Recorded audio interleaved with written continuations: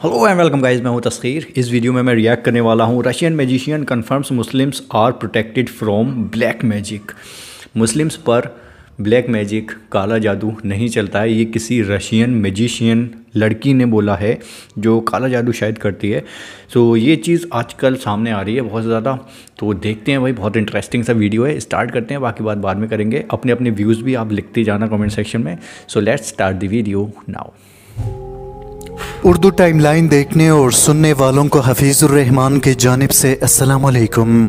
नजरीन आज की वीडियो इस्लाम की हकानियत और अल्लाह ताला की बादशाहत का ज़िंदा सबूत है। शैतान को अपना रूह बेचने वाली रूस की खतरनाक जादूगरनी जहाना कोशर जिसने लाइव टीवी शो में इस्लाम और मुसलमानों के मुतालिक वो बातें कही जिसने एंकर समेत दुनिया को हिलाकर रख दिया।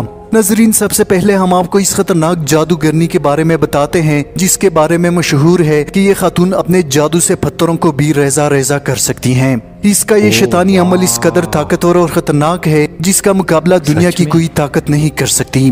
मगर इसने लाइव टीवी प्रोग्राम में खुद इस बात का इतराफ किया कि इसका ये ताकतवर शैतानी अमल मुसलमानों पर असर नहीं करता। ये अल्फाज किसी आम आमिल या बाबा के नहीं बल्कि खुदा की जात से मुनकर काले इलम की मलका जहाना कोशर की है। नजरीन जादू कुरान मजीद और हदीस मुबारक से साबित है जहाँ इस अमल के ज़रिए लोगों की ज़िंदगी तबाह कर दी जाती है तो दूसरी तरफ़ अल्लाह ताला ने इस शैतानी अमल का इलाज आज भी कुरान मजीद में बयान किया है। काला जादू एक ऐसी नहूसत है जिसके बारे में अल्लाह ताला कुरान मजीद में फरमाते हैं, गुर्रा बांधने वालों से मेरी पनाह मांगो।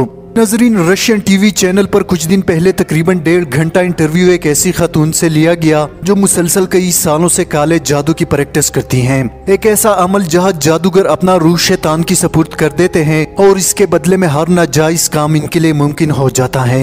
नजरीन जब इंटरव्यूअर ने इस औरत से सवाल किया कि क्या आपको किसी इंसान पर जादू करने में कोई मुश्किल या मसला दरपेश आया है जहाँ चाहकर भी आप उस पर जादू ना कर सकी हो या आपको उस इंसान पर जादू करने में मुश्किल पेश आई हो? जिसका जवाब सुनकर ना सिर्फ़ आप हैरान होंगे बल्कि आपको मुसलमान होने पर फख्र भी महसूस होगा। बेशक अल्लाह ताला और कुरान मजीद में बयान करदा एक एक हरफ हक और सच है। नजरीन इस औरत का कहना था कि दुनिया में ऐसे लोग मौजूद हैं जिन पर मेरा ये खतरनाक जादू असर नहीं करता। और वो लोग सिर्फ़ मुसलमान ही है जिन पर मैं लाख कोशिश के बावजूद जादू नहीं कर सकती। दुनिया में मुसलमान ही वो लोग हैं जिनकी रूह और जिसम इंतहाई पाक है। मुसलमान पाँच वक्त की नमाज़ पढ़ के अपने रब के साथ हमेशा रबते में रहते हैं। इसलिए मैं जब भी इन पर जादू करने की कोशिश करती हूँ तो कोई अनजानी सी ताकत मुझे ऐसा करने से रोकती है। मुझे ऐसे लगता है की इनके चारों तरफ़ एक ताकतवर हिफाजती महवर मौजूद है, जो मेरी जादू के मुकाबले में बहुत ही ताकतवर है। मेरे लिए ऐसा मुमकिन नहीं की मेरे खबीज शैतान उस पाक जिसम पर हमला करे या उसे नुकसान पहुँचाए। नजरिन इसके अलावा ये बयान करती है कि मुसलमान हमेशा अपने खुदा से रबते में रहते हैं, एक ऐसी ताकत जो हर वक्त इन्हें देखती है और हिफाजत करती है। नजरीन, बेशक अल्लाह ताला ने हर इंसान के साथ फरिश्ते मुकर किए हैं। ये वो फरिश्ते हैं जो वक्त मुकर तक हर आफत और हादसे से इंसान की हिफाजत करती हैं। नजरिन, ये औरत मजीद बयान करती है कि मुसलमान चूँकि हर वक्त अपने खुदा से रबते में होते हैं, इसलिए मुझे वक्त नहीं मिलता कि इन्हें किसी गुनाह के अंदर उलझा सकूँ। खासकर मुसलमान दूसरे मजाहिब के लोगों से बिल्कुल मुख्तलिफ़ है जो हफ़्ते या महीने में एक बार चर्च जाते हैं। दूसरी तरफ़ मुसलमान पाँच वक्त अपने खुदा को याद करके खुदा के साथ मज़बूत रबता कायम रखते हैं जिसके बदले में इनका खुदा इनकी ज़बरदस्त हिफाजत करता है जिसकी वजह से चाहकर भी मैं इन पर जादू नहीं कर सकती। जब मैं किसी मुसलमान पर जादू करती हूँ तो एक ज़बरदस्त ताकत मुझे ऐसा करने से रोकती है। मेरा जिसम और दिमाग मफलूज हो जाते हैं और मुझे अपना अमल पूरा नहीं करने देती। यही वजह है मेरे लिए एक मुसलमान की दिमाग पर कब्जा करना इंतहाई मुश्किल है। नजरीन इसके बाद इंटरव्यूअर अगला सवाल करता है कि क्या आपको लगता है कि इनका खुदा मेहरबाना और अच्छा है जिसके जवाब में खातून ने कहा कि ज़ाहिर है मेरे लिए तो नहीं पर इनके लिए इंतहाई मेहरबान है। क्योंकि जब भी मैं मुसलमान रूह को काबू करने की कोशिश करती हूँ तो कोई ज़बरदस्त कुत वाली चीज़ मुझे बाहर लाकर फेंक देती है। और ये सब मैं नहीं जानती कि आखिर ऐसा क्यों होता है मगर इतना ज़रूर जानती हूँ कि वो शख्स किसी बड़ी ताकत की हिफाजत में है। नजरीन इंटरव्यूअर ने जब सवाल पूछा कि क्या ये सब सिर्फ़ मुसलमानों के केस में होता है, जिस पर इसने जवाब दिया हाँ जबकि मेरे साथ तो अक्सर ऐसा ही होता है। ये अल्फाज गैर मुस्लिम जादूगरनी की है, जिसने पूरी दुनिया को हैरान कर दिया। कुरान मजीद सूरह रहमान में अल्लाह ताला इरशाद फरमाते हैं, और तुम अपने रब के कौन कौन सी नेमतों को जुटलाओगे? क्या हमारे लिए ये काफ़ी नहीं कि अल्लाह ताला ने हमें ईमान की सूरत में ऐसी ताकत बख्शी है जिसके मुकाबले में खन्नास और शयातीन हमारे करीब भी नहीं आ सकते? जो लोग पाँच वक्त नमाज़ और तहारत में रहते हैं शयातीन इनके करीब भी नहीं जाते। जादू एक हकीकत है जो इंसानों की ज़िंदगी को तबाह बर्बाद करने की ताकत रखता है। जो लोग पाँच वक्त। नमाज़ और तहारत में रहते हैं शयातीन इनके करीब भी नहीं जाते।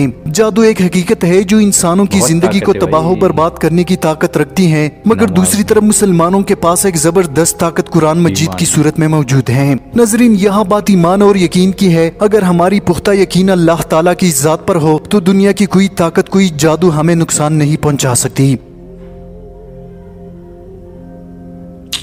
When faced with various religions, it is very difficult to influence Muslims. They are in a constant connection with the egregore. They do Muslims. namaz every day and read prayers on a daily basis. They are constantly under some kind of a dome, so it is very difficult to influence them. तो बहुत ही प्यारी बहुत ही सही video थी यार इसके अंदर कितना मतलब एक जिसको काला जादू करती है एक लड़की एक मैजिशियन जादू करनी कहती है वो खुद को और होगी भी भाई आ, तो वो खुद कहती है अपनी ज़ुबान से कि यार मुस्लिम्स को बहकाना बड़ा मुश्किल होता है जो जो पाँच वक्त के नमाजी होते हैं, उन लोगों के बारे में कहा है। हर किसी मुस्लिम के बारे में नहीं। कौन पढ़ रहा है पाँच वक्त की? ज़्यादातर नहीं पढ़ रहे हैं। कुछ लोग पढ़ रहे हैं। कुछ लोग ईमान पर हैं। कुछ लोगों का यकीन पक्का है। वो ईमान पर खड़े हुए हैं, लेकिन दूसरे नहीं हैं। हर कोई तो नहीं पढ़ता। हर कोई पाँच वक्त की नमाज़ या फिर दीन पर हर कोई नहीं चल रहा है, ईमान पर नहीं है पक्का पक्का तो उनको बहकाना आसान है, लेकिन इन्होंने बोला कि पाँच वक्त के जो पढ़ते हैं नमाज़, जो ईमान के पक्के होते हैं, उन लोगों को बहकाना बड़ा मुश्किल होता है, क्योंकि शैतान या फिर कुछ ऐसी चीज़ें उनकी तरफ़ भेजे भी अगर ये, जो भी इसके कब्ज़े में है या फिर जो भी है, जैसे इन्होंने बोला तो वो अगर ये भेजे भी उनके पास तो वो टकरा कर लौट आते हैं। ये बोल रही थी ना, कुछ ऐसा डोम टाइप का सर्कल सा होता है उनके आसपास को उसको छेद कर, अंदर घुसना या उसको तोड़कर अंदर घुसना आसान नहीं होता है। जो भी ये ताकतें, काली ताकतें बेचती है, ये लड़की कि उनको कब्ज़ा कर लो और उसको लेकर आओ। वैसा कुछ हो नहीं पाता है, कर नहीं पाता है, क्योंकि नहीं कर पाती बिकॉज़ वहाँ पर एक सर्कल है उसके ईमान का, जो अल्लाह पर रखता है। उसका पक्का ईमान, उसकी नमाज़ें वो जो पढ़ता है, उसका कुरान जो उसको, जिसको वो फॉलो करता है, उन चीज़ों को लेकर वो उस चीज़ से प्रोटेक्टेड है चारों तरफ़ से। उसको बुरी ताकतें, बुरी शैतानियाँ जो हैं, वो शैतान जो है, वो नहीं उसको छेद कर जा सकता। तो ये एक बहुत बड़ी बात है। रशियन लड़की जिसको, जो खुद नमाज़ नहीं पढ़ती, जिसके पास सिर्फ़ कुछ ऐसी ताकतें हैं कब्ज़े में जो किसी से कुछ भी करवा सकती हैं, गलत, बुरा तो वो सब खुद अपनी ज़ुबान से बोला उसने। फ़ख्र अपने आप पर, मुस्लिम होने पर फ़ख्र करो, होना चाहिए। नहीं कर रहे फॉलो अगर अपने इस्लाम को तो करो, कब करोगे? ऐसे लोग मान रहे हैं दुनिया में। लेकिन मुसलमान नहीं मान रहा है। अफसोस तो इसी बात का है भाई। मिलते हैं फिर नेक्स्ट वीडियो में। आई होप कि आपने आप पसंद किया होगा इस वीडियो को। Bye bye take care signing off